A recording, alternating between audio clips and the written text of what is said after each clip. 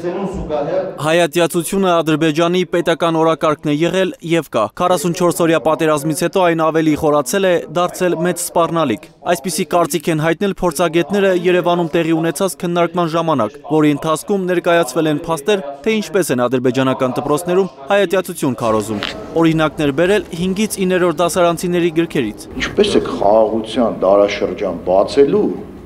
այս դասագրքերով մեծացած սերնդի հետ։ Այս հարցը հռետորական է հնչում, քանի որ վերլուծաբանները առաջին անգամ չէ, որ այն տալիս են Հայաստանի իշխանությանը։ Պատասխան չկա։ Այս քաղաքականության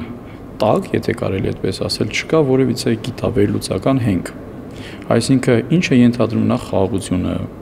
ինչ հնարավորություններ կամ ինչ սպառնալիքներ է իր մեջ պարունակում։ Որևիցե վերլուծական միտք եւ վերլուծական, այսպես ասած, աշխատանք դրա տակ դրված չի։ Իսկ Ադրբեջանից Թուրքիայից հազվադեպ հնչող խաղաղասիրական հայտարարությունների իրական նպատակն ըստ փորձագետների մեր զգոնությունը թույլատնելն է։ Մենք գործ ունենք շատ կազմակերպված, շատ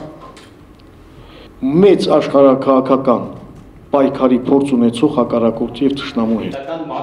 Քննարկման մասնակիցները նկատում են, որ ճշնամու դեմքը չի փոխվել։ Ռամիլ Սաֆարովն է,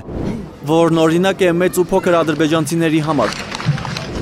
Այսօր լրանում է հայեսպա Գուրգեն Մարկարյանի իսպանության 18-րդ տարելիցը։